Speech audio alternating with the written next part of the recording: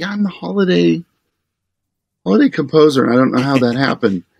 Um, and then the Garry Marshall. There's Valentine's- Are you big? Like if we if we drive by your yeah, oh that's right Valentine's all the other holidays too. If, so if we drive by your house, is it like the big Halloween house on the block right now, John? Are you like waiting uh, to? Very shortly, it will be. We're not quite there yet, but yeah, it will be. Yeah, it's weird. I, I have all of that to, you know, to thank Garry Marshall for Valentine's Day, Mother's Day, New Year's, New Year's Eve. Eve. Is that right. a, that's sort of a yeah. And then yeah, draft focus, day. Focus, that's kind Christmas of a holiday movie. for football fans. we could keep. Going. What do you have against Thanksgiving, um, John? Yeah. yeah, when, when are we getting well, the feast? You know what?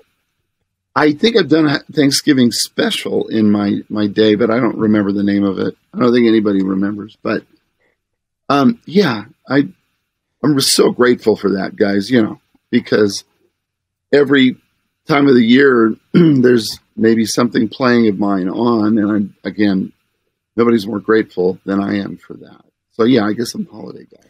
But see, this is what's interesting about it, John. There's a million holiday movies made, and you've got at least two that are in the all-time great that cycle that anyone would love to get one nibble. I mean, it's like the yeah. the Mariah Carey Christmas song. Like everyone writes a Christmas song, but if you can get into that group of movies that people latch onto, did you do you have any sense when you're when you're working on Elf or Hocus Pocus, like they're going to become these people classics. are going to love this, or yeah, yeah, it's it's. I, how no. do you even?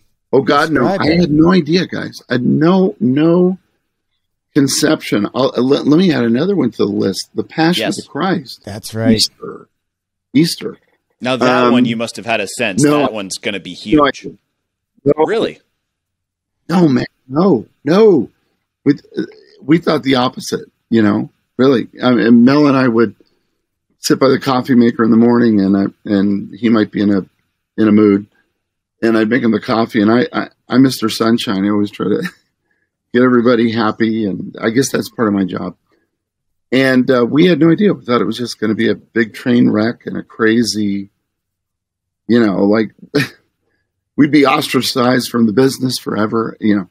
But no, when when you're working on these things, I compartmentalize it to the point where I don't think too far ahead. I really don't. I, I'm always concerned about making the, the very best music I can make and come what may. And that's really the truth. There's no there's no afterthought. I mean, you know, to give you an example, Hocus Pocus was a disaster. It came out um, during the summer months of, of, whenever 1992, three, whenever that was, and it was a bomb, and it bombed, and nobody watched it, and it was a disaster. And then Hocus Pocus started to take on a life of its own on the Disney Channel, of all places, and slowly became the perennial that it is.